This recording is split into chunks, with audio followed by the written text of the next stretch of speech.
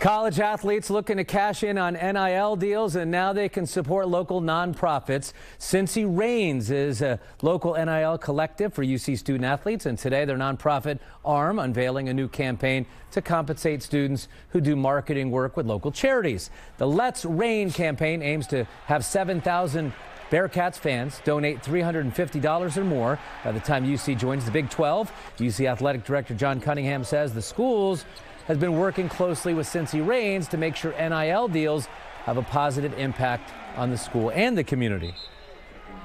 Our overall mission never changes. Our mission is to make sure that our student athletes have world class experience and that we're helping to change the lives of our student athletes so that they become better young men, young women, go out into the community and give back. So far, Cincy Reigns has partnered with the Boys and Girls Clubs of Greater Cincinnati, Cincinnati Children's Hospital, and Saturday Hoops.